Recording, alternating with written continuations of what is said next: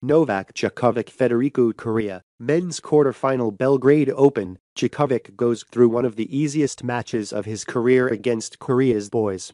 Djokovic's prestige may be too great for Coria in this match, even though the 92-year-old Argentine tennis player also had his best matches at Belgrade Open this year.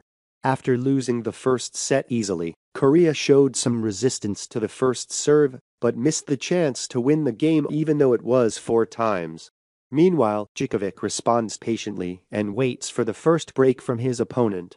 It seems that Coria put all her effort and sophistication into this game of duel and became harmless in the course of events afterwards. Even if you break the game once, dot, Djokovic, but that's not enough for Coria to lose all the other four games. In a game where any shot by Nole can make the Argentinian, Ina is scared. What happened in the second set was even worse. Coria's only noticeable situation is a home run return in Game 4, when the score was 4-0 in favor of the Nole.